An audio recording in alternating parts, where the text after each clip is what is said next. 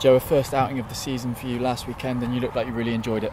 Yeah, I really did enjoy it. It was a bit of a crazy game, but like you said, uh, there was a lot of quiet players in my position, so it was very important for me that I took my chance, and hopefully I did, and get another chance this weekend.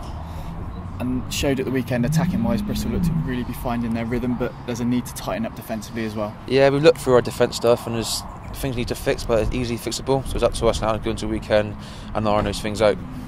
And Ealing, a team with many players that you'll know quite well, how important to be prepared for the challenges that they're going to bring at Ashton Gate. Yeah, obviously I know Glenn Towson, Will Davis, Rain, they'll, they'll all be up for it. Reece Lawrence, if he's involved as well.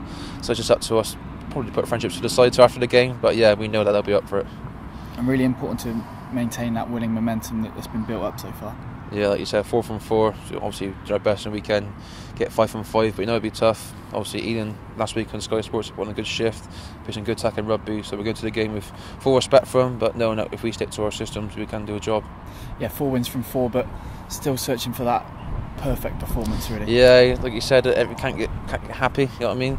Once you once you once you're happy with. Uh, where you are, that's when you start dropping your standards again. So we're always looking to push our standards and hopefully you can get closer to that perfect performance.